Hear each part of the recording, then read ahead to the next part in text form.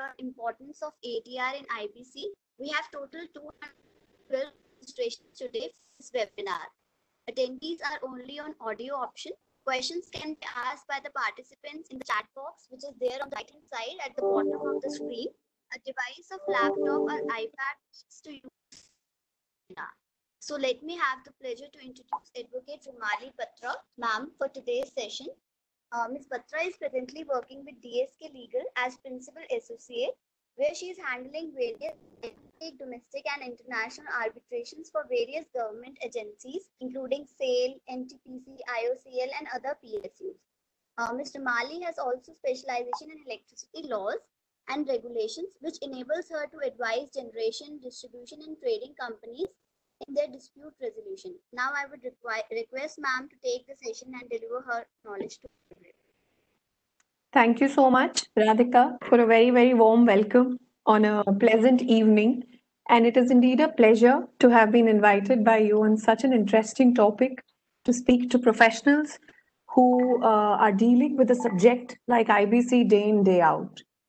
Uh, not wasting any further time and uh, digging straight into the topic, I would like to uh, just quickly uh, set out the design of the presentation in the beginning. The topic given for today's webinar was IBC and the dispute resolution processes.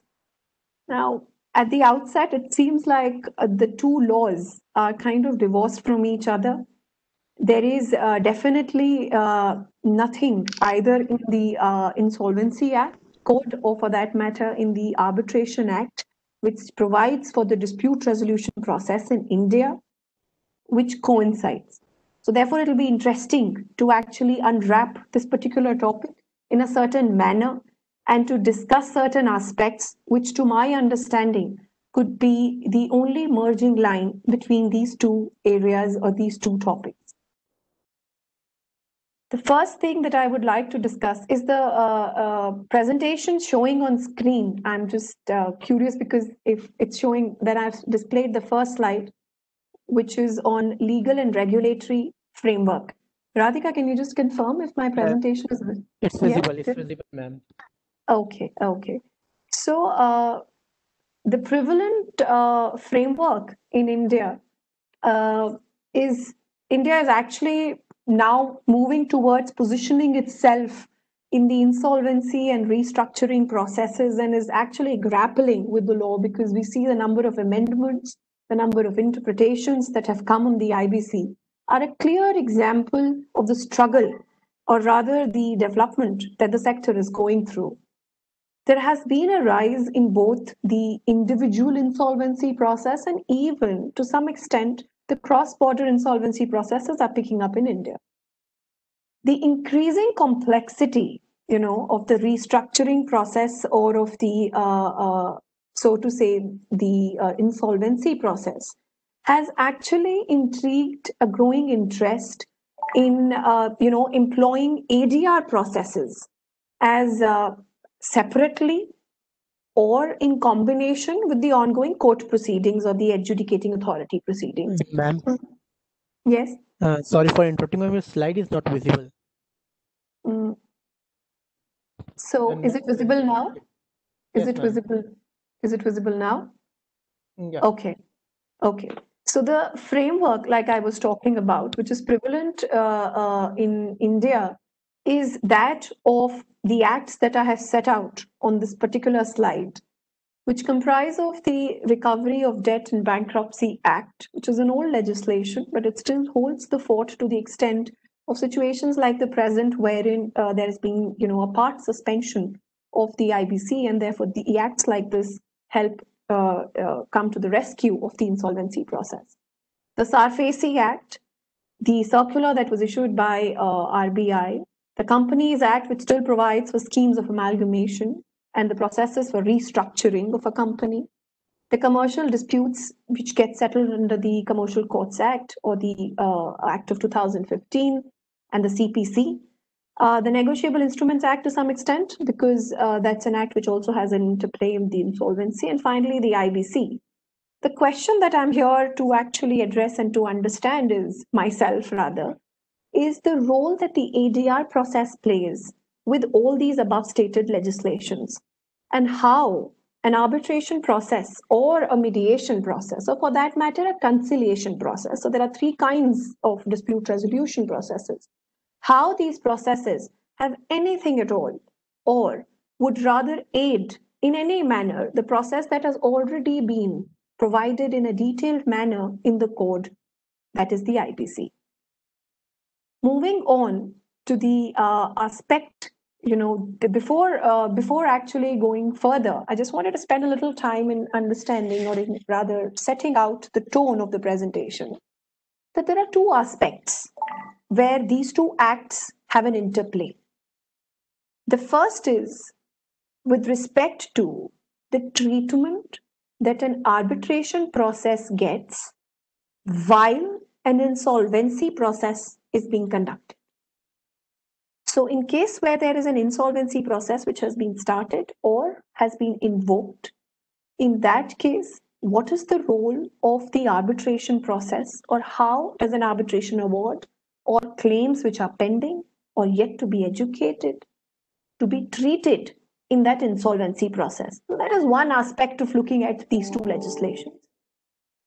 The other aspect, which is more intriguing and I think helpful for uh, the audience today is that what is the role of ADR, for example, the process of process like mediation in resolving disputes for professionals or resolution professionals and stakeholders? Can this process of mediation be used or for that matter, even arbitration, though I would not want to take it that far because arbitration is a process which is codified and which is legislated and it's it requires certain mandatory uh, essentials to be in place before you invoke it. But what is the sanctity of invoking a mediation process and whether it can come to the rescue of resolution professionals in this entire insolvency process? One of the perspectives on this topic is that this landscape of both the legisl legislations suggests that there is potential for mediation, uh, mediating no, disputes. Yes. I'm really sorry. I'm actually while doing the slideshow, your slides are not visible to us. Okay, so I have not moved the slide. I'm still on the same slide. So, uh, um, is it showing now? I've yes, I'm showing now. Actually. Okay, I haven't changed anything. Okay. Yeah. Okay. So, so it's just the same slide. I'm just, talking about move the cursor in between going to the standby mode. So that's why it's not right. Okay. Okay. So uh, basically, the arbitration and conciliation process, like I was saying, the mediation process in the country is such that you know it could help resolution professionals to actually uh, uh, have a stress-free, you know, process of res resolving if mediation can come to their rescue. With this, I would like to quickly move on to the second slide, which is the uh, institutional framework so one is obviously the legislative framework, and then there are institutions which are wanting to aid this particular process. And I'm sure most of us present here today are already aware of these institutions which are aiding the insolvency process, which is the IBBI, the Agency of Insolvency Professionals, the Insolvency Resolution Professionals, the Information Utilities, the Adjudicating Authorities, which is the NCLT, the NCLAT, the DRT, the DRAT, and of course the Supreme Court. So these is the entire gamut of the institutional frameworks. If you look closely, arbitrations or arbitrators are not emphasized as an institutional framework under the IBC. So the process does not require or that does not even contemplate uh, resolving any of these disputes that arise or any of the claims that actually come under the code to be resolved through the arbitration process. And that is why, in the beginning, I said they're divorced concepts. But I'm trying to bring them together, marry them into a unison where it could help or assist in uh, taking the law forward. The code. A little time I would like to spend. I've tried to uh, crisply bring in all the salient features of the code. And while I'll be doing this, I will be pointing out the most essential uh, features which could be looked into from the perspective of an ADR process. So digging straight into the salient features on the slide, the IBC obviously enables an early resolution of insolvency. So before the company goes into the process, it is a process to enable an early resolution of, you know, before the company reaches that stage. And along with this, though that salient feature will come in later, it is prudent to state right here that uh, in this particular process, the company is treated as if it is, you know, uh, not yet gone into liquidation and it's not to be treated as it's going to wind up. So the company is kept as a going concern, which is, you know, this point on the screen that I've set out here. It, it, it the process contemplates that the entity is a going concern. But because it is a going concern, it is obvious that during the process, there is likelihood of more claims that would come in, right? And there is uh, there is agitation of issues that could happen on the ongoing disputes or on the disputes that were yet to mature and materialize but because of the moratorium which has been provided under the Act, all those processes are put to a standstill. So, how does really arbitration come in? We'll deal with that as we move on. Going to the second part of the salient feature, the process under IBC can be initiated by three category of creditors, financial, operational, and corporate. The IBC provides for a non-adversarial resolution process. Since this is not a litigation, this is not an adversarial process where one has to win or one has to lose. It is a process where, uh, where creditors and the corporate debtor are working together to restructure or to bring the company back on its feet. It is not an adversarial process. It is not like arbitration or it is not like a process of litigation either wherein you know the defaulting corporator will be put in a witness box to say that you are wrong or you're right but at the same time uh, the the task of the COC and the resolution professional is to come up with a plan to revive and to bring the company back on its feet after resolving all issues that the creditors have raised. Once the committee of creditors is constituted, it is the creditors in control driven process. It's a time bound process for the uh, uh, it's a time bound process which uh, is being provided under the IBC, including any extension, until 330 days, including any extension of period of corporate insolvency process, which is to be granted under the IBC. And the time taken in the legal proceeding, you know, which any any time when a dispute arises with respect to a process or with respect to the fees or with respect to the money that is required for running the process, uh, professionals end up or corporate debtors end up going to the NCLT. So the time taken at the tribunal as well is to be accounted for in this particular process that has been set out under the IBC. The IBC contemplates resolution of the corporate debtor as a going concern. I think I've covered this point. Moving on to the next one. IBC envisages cooperation. I would like to really emphasize this point here because it says it envisages cooperation between uh, the promoter of the corporate debtor and imposes penalties and fines on the promoter in case of in case such uh, corporation is not forthcoming.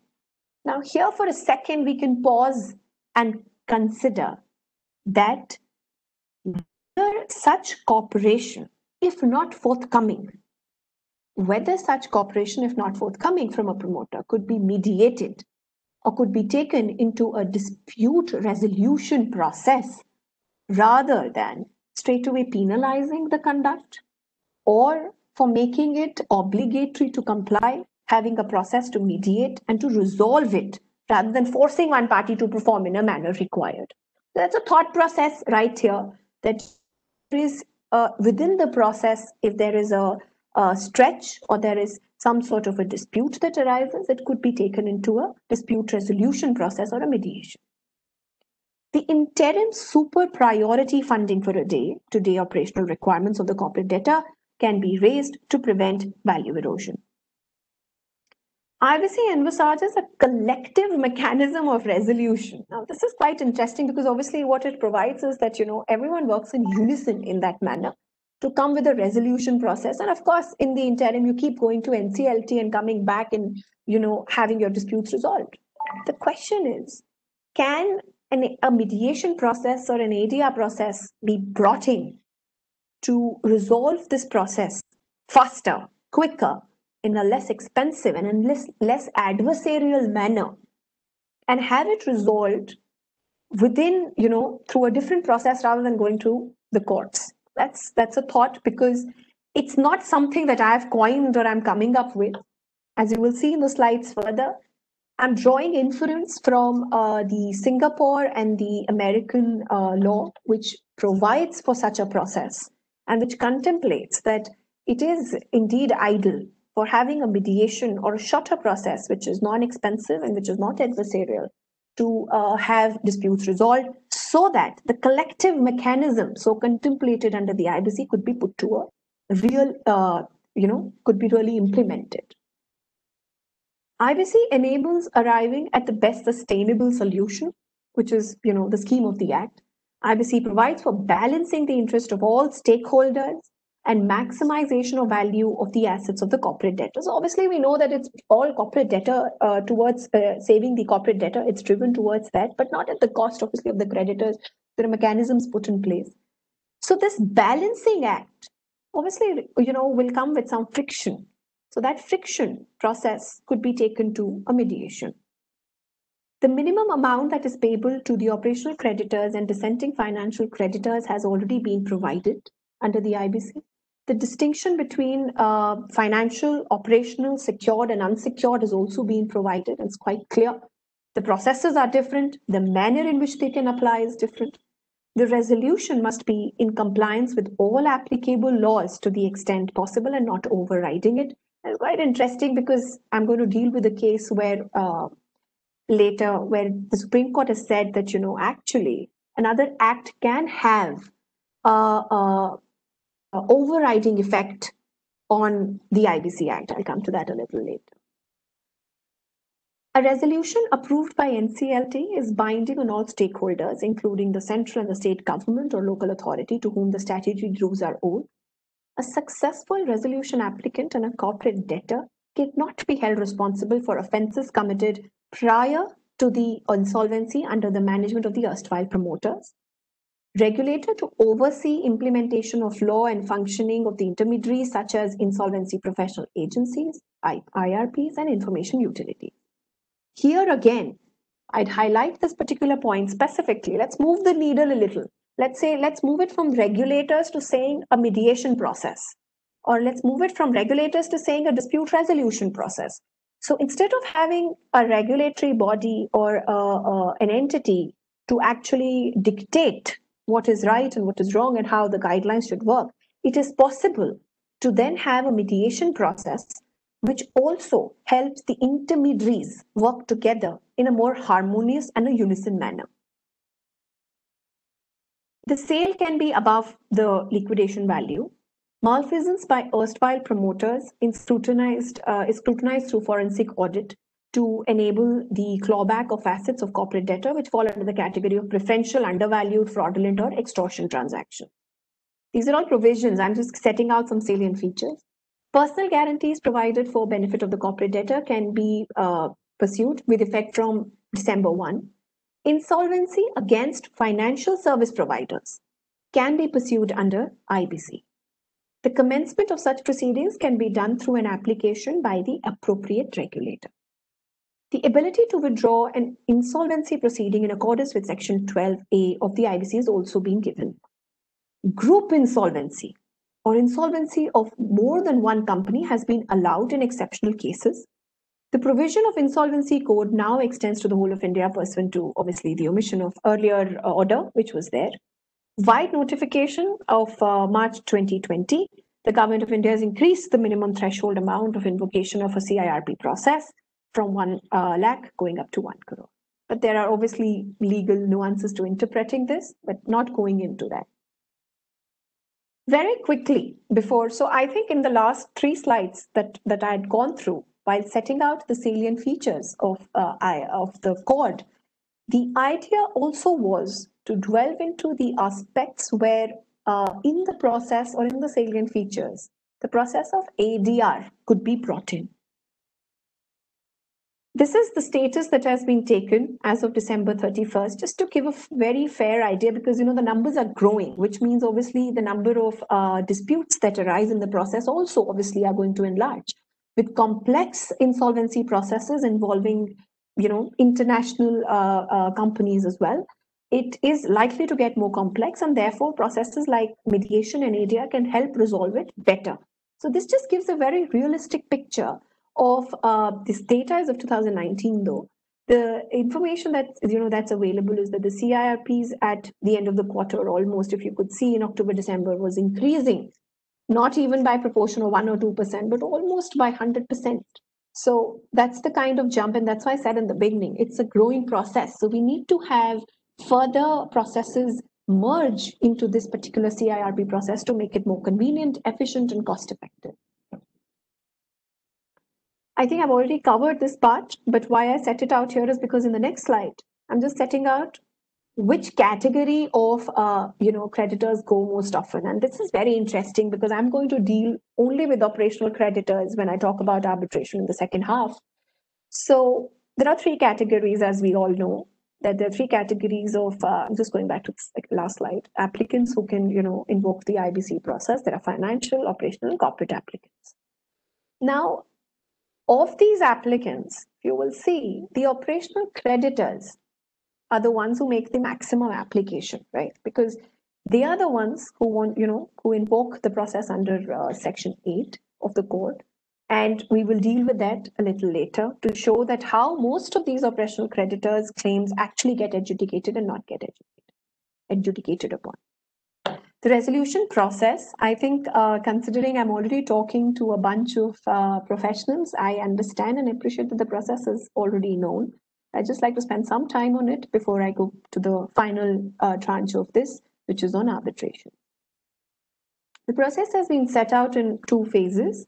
Um, it's basically a process which consists of uh, that's you know a time bound process so there are three phases but each phase has been looked at from three different aspects that is for financial creditors for operational creditors and for corporate applicants for financial creditors there is a, filing of an application which is what they have to do immediately on the occurrence of a default in payment based on the information that is there with the information utility, the other financial creditors may also file. It's like a cross trigger. So if there's a trigger under one financial creditors, if a loan has been defaulted on, on one particular borrower, the others also, the other lenders could also cross trigger and they can file applications. Along with the application, they are mandated to furnish record of the default and to propose the name of the interim resolution professional. Then, you know, the whole exercise starts where the NCLT sits and observes that whether you know the uh, whether the uh, resolution professional proposed is there any sort of uh, you know case or litigation going on? Are they qualified?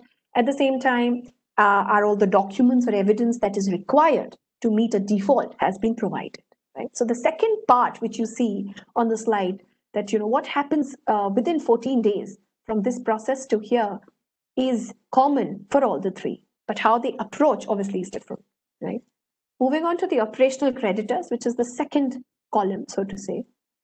This starts with delivery of a default notice from, a, from the uh, operational creditor to the corporate debtor, wherein they say that, look here, this payment is due and you have to make this payment. So that default notice is important from one entity to the other. Within 10 days of receiving of that notice, a reply has to be sent back by the corporate debtor to the operational creditor, either acknowledging the debt or disputing the debt. It is also possible that, uh, so obviously, when the operational uh, creditor receives that reply, makes an application, and while making that application, it is uh, important that he annexes all uh, particulars of uh, the default in payment, again, similar to the first process, and brings in evidence that this payment that he says is in default is not being paid, you know, bank statements, etc. Therefore, you know, encashment of checks and even uh, the negotiable instrument acts become relevant here. So that's the second part of the process. I've set it out. It says if there is adequate reply, if there is not adequate reply. If there is adequate reply, it could be settlement of dispute uh, dues, or it could say that look here, if the adequate reply is there is a dispute ongoing on this particular amount, and I would like to deal with this part of it when I move to the second part, which is arbitration. That when an operational creditor receives a reply stating that there is a dispute which is ongoing, and therefore on the amount that you're claiming, and therefore this amount is not payable. When the reply is not adequate, obviously an application is filed, and again within the same process of uh, 14 days, if accepted or not accepted, we move to phase two in case it is accepted, and that I'll come to in the next slide. If it is not accepted, they have to reapply within seven days, and otherwise it gets rejected. So this is the process, so to say, after 14 days. Going to the third category, which was corporate applicants. Uh, filing of uh, an application obviously again occurs on a, a, a event of occurrence of a default and the similar process. So what we see is that obviously for a corporate applicant and for a financial creditor, the process seems more aligned as opposed to that of an operational credit. Moving to phase two of this process, which is um, yes, sorry, I think I skipped a slide. So moving to phase two, which is the entire process has to be completed within a period of 180 days, which is extendable by 90 days. Um, I've just set out the timelines of the whole process, which is, you know, there is an order of admission, which is the uh, commencement date, so to say, of the process. And post that, there is declaration of the moratorium period and all pending claims that are there prior to making of this particular, uh, you know, application, which comes under section 14, that once the process starts, there is a moratorium period which kicks in. Uh, there's a public announcement uh, under the order of NCLT and the appointment of the interim resolution professional. These are the four things that happen right in the beginning, you know, once it's uh, accepted.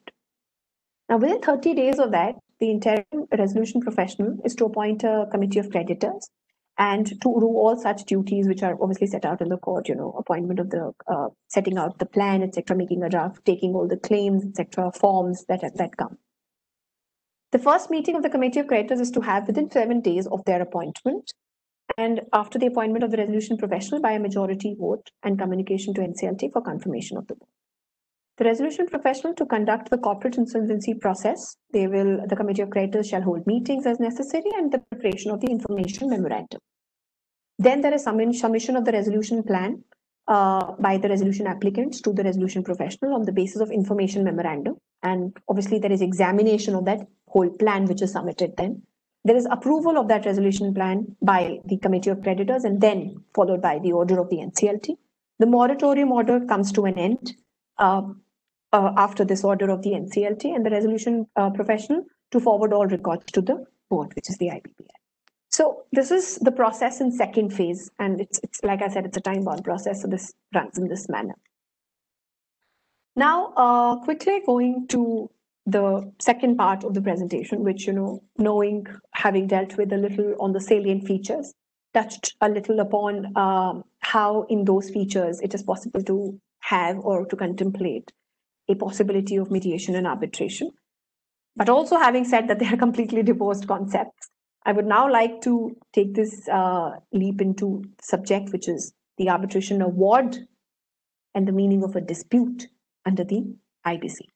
So if I can quickly go back and uh, come back to this particular point where I spoke about a dispute, which was being pointed out by the operational, uh, by the corporate debtor to the operational creditor that look here, you made a claim, you've said that there is amount due to you, but I, I say that there is a dispute on this amount and therefore this amount is not payable.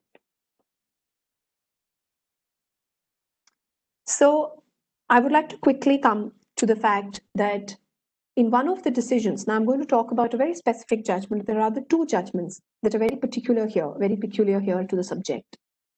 In the case of uh, Mobilox Innovations Private Limited versus Kirusa Software Private Limited, which is also on the screen, the Supreme Court went into analyzing the question that whether when an arbitration award is issued, right,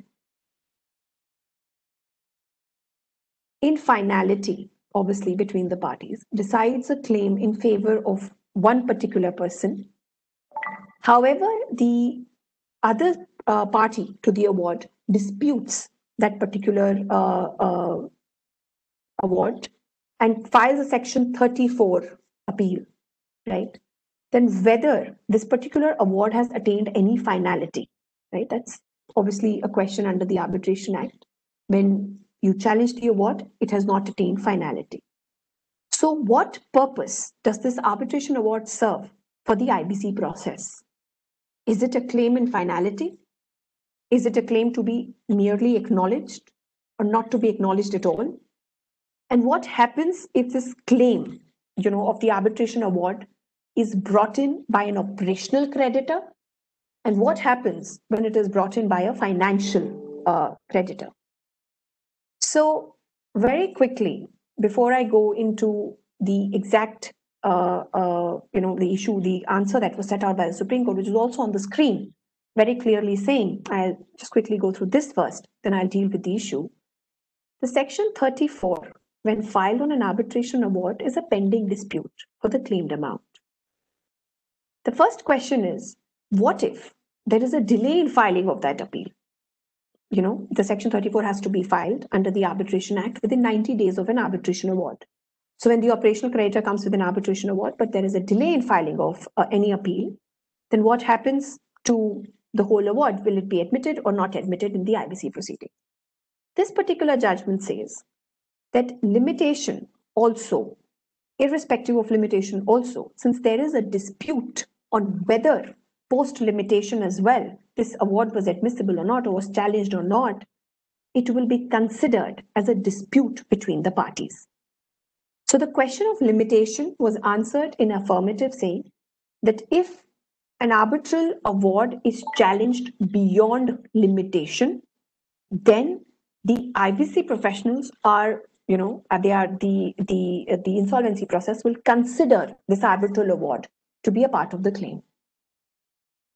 The second aspect of this is I have been given an award in my favor. Okay, let's assume I have given been given an award in my favor, but the other side challenges that award and also says that look here, I had some counterclaims in my arbitration award, which have not been awarded to me, and my counterclaims value is higher, way higher than what I have been awarded. So there is a set off that needs to be done. So in that case, when I initiate the IBC process as an operational creditor and I issue a notice of default, the court says that because there is a counterclaim standing of a higher value, plus because the uh, corporate debtor has disputed that arbitration award in my favor under section 34, it will not be considered as a amount in default and rather be a dispute between the parties, so this amount becomes inadmissible. The question that the Supreme Court does not answer is, what if there is no counterclaim at all? In this particular case, and in the case after, which was in 2018, I'll refer to that as well and show some relevant paragraphs. In the case after, in both the cases, there were counterclaims between parties. You know, both the parties had claims against each other. But in a case where there was there is no counterclaim between parties, the court has not contemplated what happens. So, for instance, if there is a, a, a there's an award in my favor, and there was no counterclaim at all from the other side, and I have an award in my favor, but the other side has challenged it. In that scenario, the court merely says address question number three, which is on the screen. So you have to only assess whether there is even existence of a dispute between the parties or the records of pendency of a suit or arbitration proceeding filed before the receipt of the demand notice of the unpaid operational debt in relation to the dispute. So if there is a dispute between the parties or there is a record of a pending arbitration proceeding which has been filed, you know, before the file, before the demand of the unpaid amount in relation to the same dispute, then in that case, it would not be possible to consider that particular amount as an amount in default because you know parties are at dispute they're at loggerheads obviously the claim's not final rather the court goes one step further. They say not only 34 even 37 so that's an appeal from 34 under the arbitration act. So if there is a award it goes in 34 and then goes in 37 so which is a second appeal. So in case of a second appeal also the court says it will still be considered in dispute and it will not attain finality However, that becomes an antithesis to the very concept that the arbitral award attains finality, at least between the parties. And the IBC doesn't provide for anything in terms of, you know, an award being final or not being final. But it does say the factum of a dispute, the existence, whether good, bad, ugly, the existence of a dispute is essential. At the same time, if the dispute is fraudulent or vexatious, you know, you're doing it only out of malafide intentions, that look here they also owe me something or you know this claim has been uh, ad, uh, not adjudicated properly. You know, it, it seems like on the face of it that there is actually no claim by the uh, corporate debtor and they're just trying to create a dispute, in that case, the uh, uh, NCLT will have the power to look into it and to allow it, that particular arbitration award to go ahead as a default, as a notice of default. So those are the aspects which this particular court considered while looking into an arbitration award and how a dispute has to be looked into. So I would just read the first two questions as well, which is obviously whether there is, because this particular case was only on operational uh, debt. I would like to quickly go through some parts of the judgment which was uh, decided by the Supreme Court. I'd like to display it on my screen so that uh, the essential parts of that particular judgment uh, so uh, I is my is my screen visible? I'm just I'm sharing a judgment on my screen. I don't is it showing? Can you please confirm for me? Uh, no, ma'am. One second, please. I'll stop sharing the PPT and then share my screen with the judgment.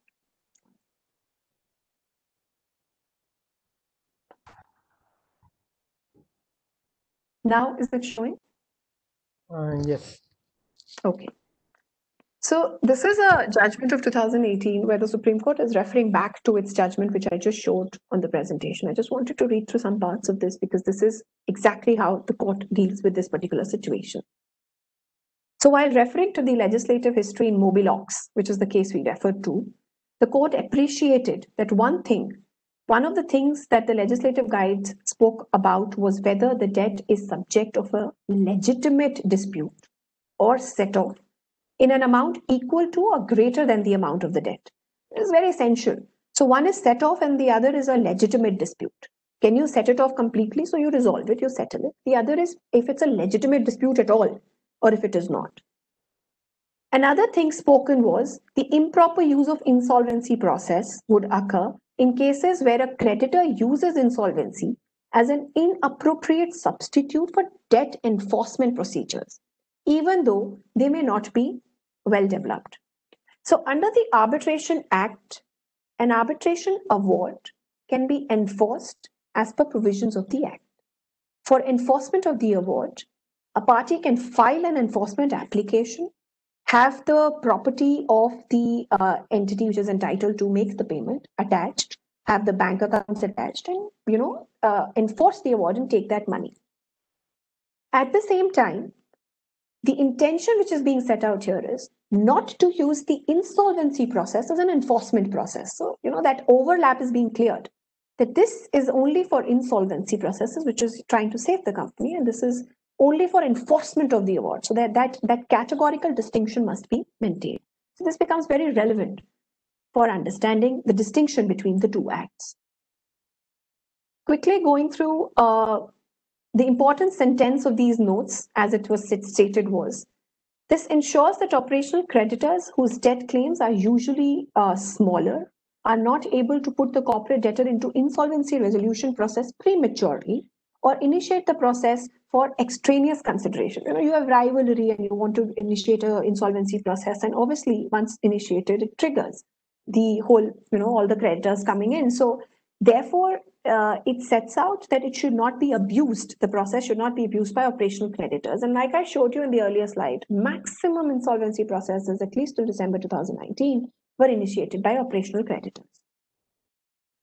This court has also noticed, this is very important to note, that the original bill, which was, you know, which ultimately became the court, had the expression bona fide dispute. And that's why the whole discussion on a legitimate dispute between parties and not merely a puffed up one, uh, is was contained in the inclusive definition. It is significant to note that at the time when the code was enacted, the ex expression bona fide was dropped. Now, what does this mean? Irrespective whether it's a bona fide dispute or it is not a bona fide dispute, it is actually correct or not correct is not the job of an entity or the NCLT while sitting and looking at the default notice, whether it was the dispute being raised by the other side on the claim being made, is good.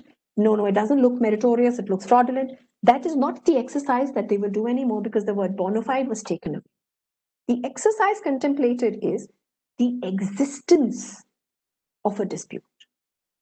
And when there is an existence of a dispute, that would mark the very fact that this process, this insolvency process cannot be initiated because it would then be, you know, rejected by the NCLT under the provisions of Section 8.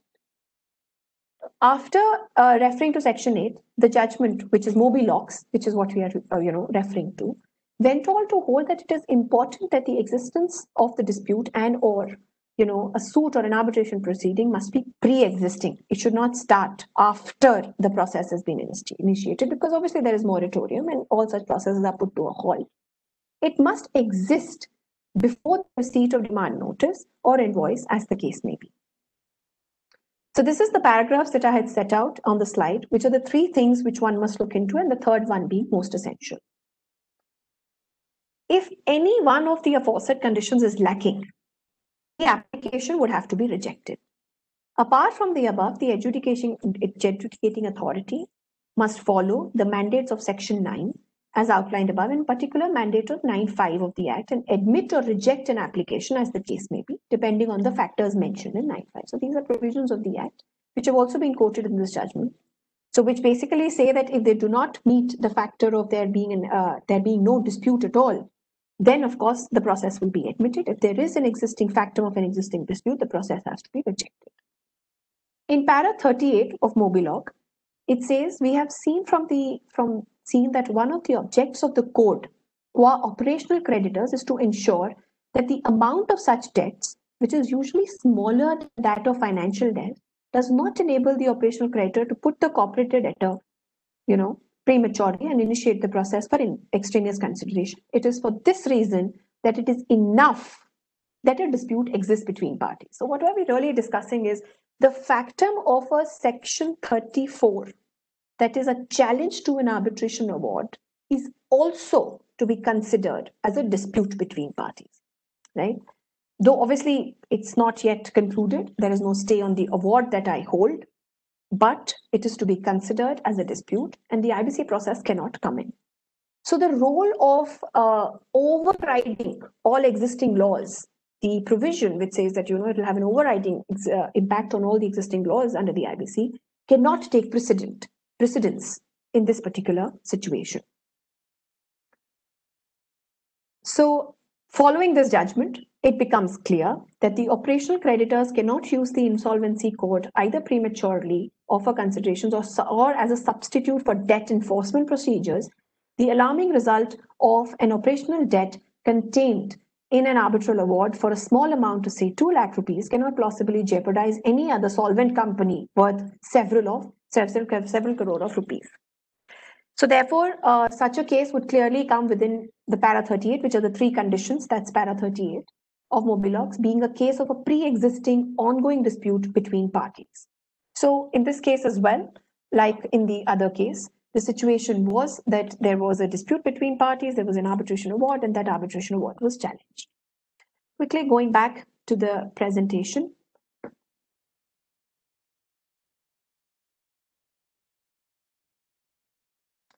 So uh, this was this was the case of Mobilox, which becomes relevant for discussion on arbitration and IBC.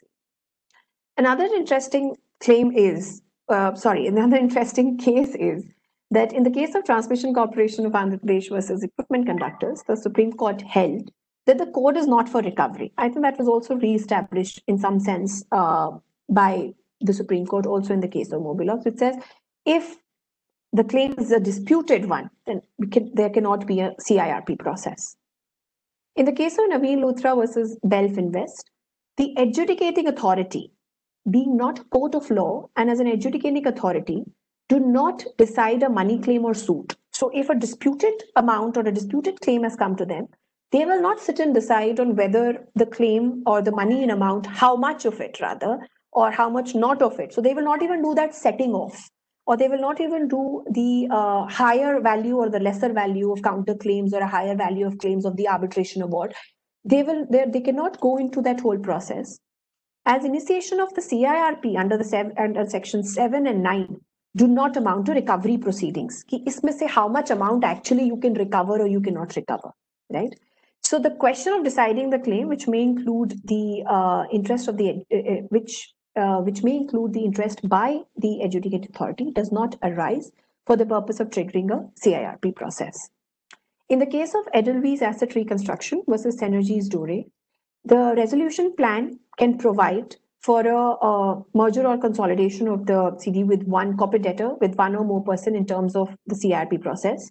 The INB code, so this is why am I wanting to show this particular judgment is that the INB code is a complete code by itself.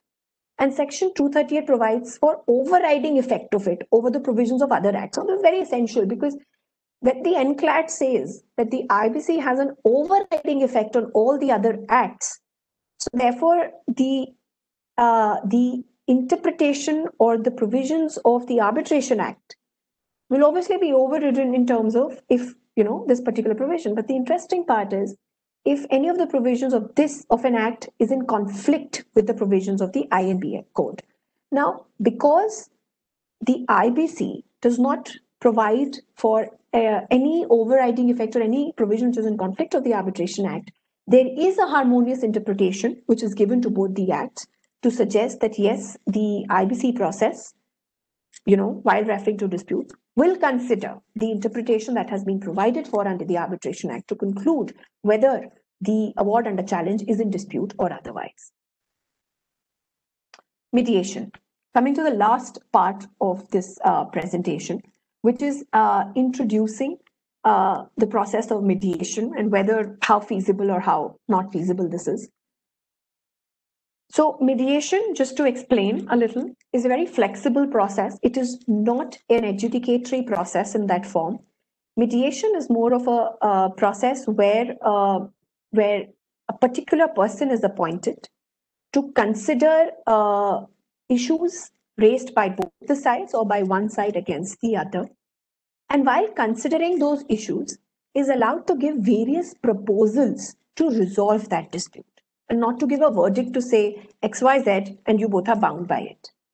It's a process where the mediator helps bring in both the parties on common ground, let go certain uh, issues and accept certain uh, uh, issues which are either problematic for either of the parties and makes them rather. So it's basically someone making them negotiate to come to a common ground.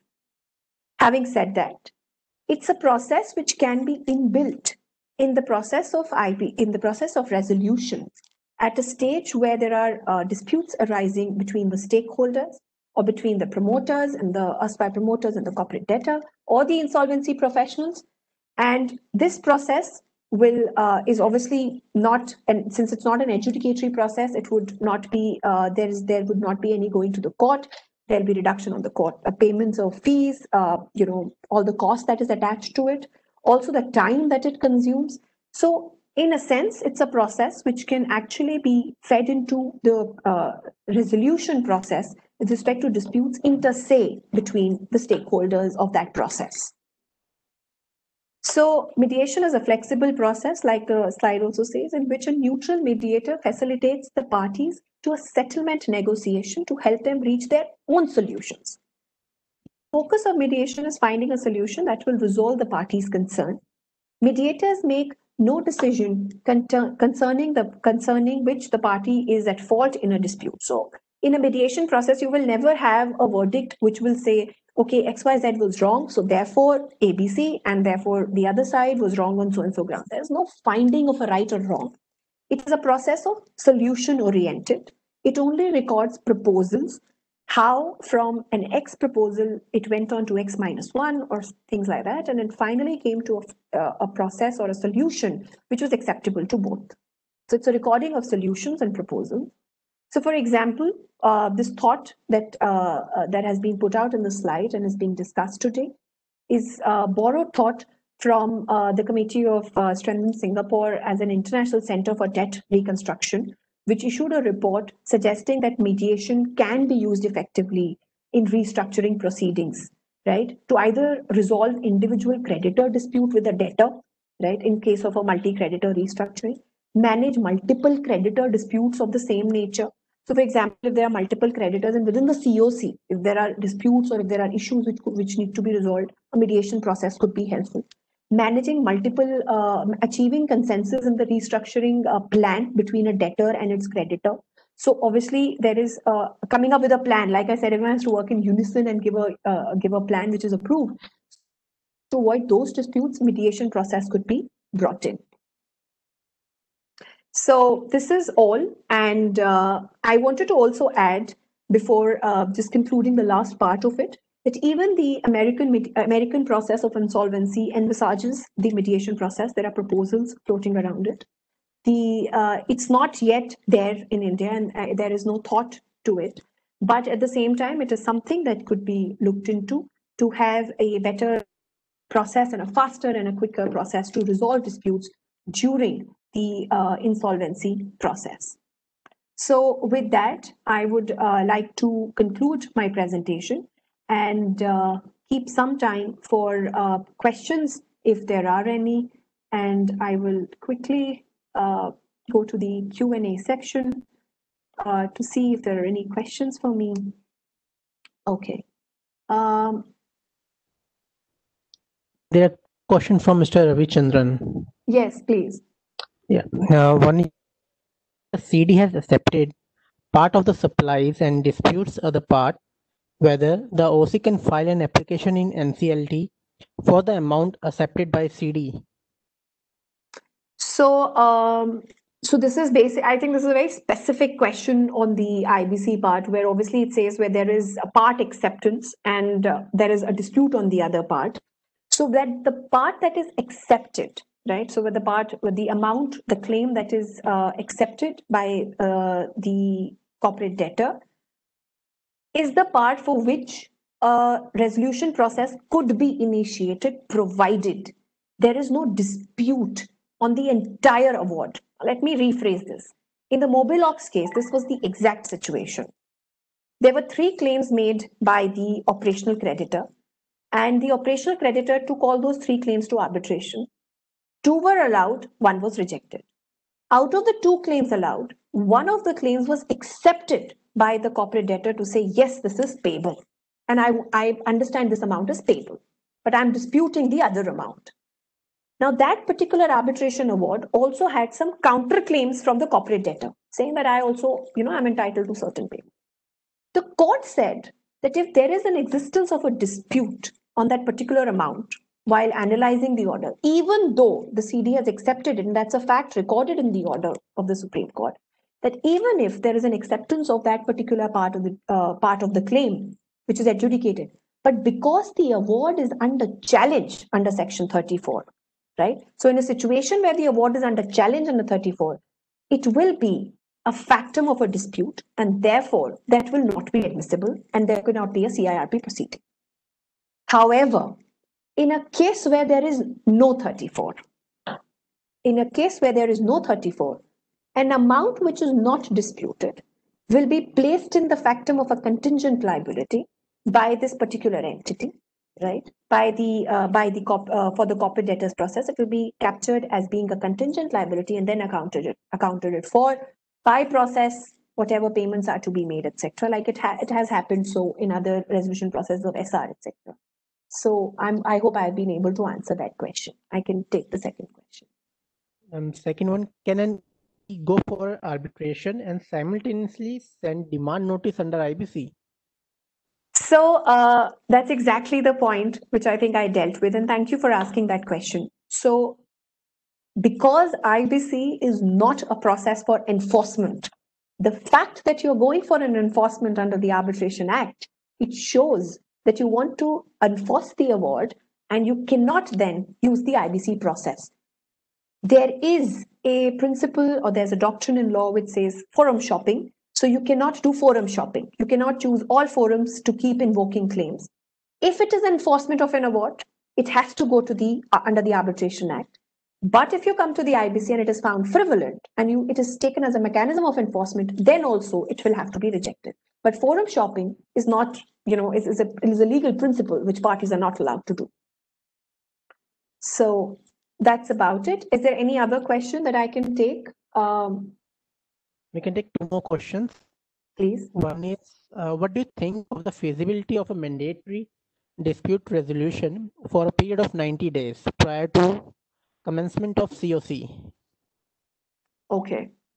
Um, well, that's a proposal. So if so, I want to. So, I, I, is the question on screen? Uh, is this? It's on the chat screen actually. Uh, Chat is window. is this is this Bhavin who has asked this question? No, ma'am, it's uh, Mr. Anil. It's on the chat window actually.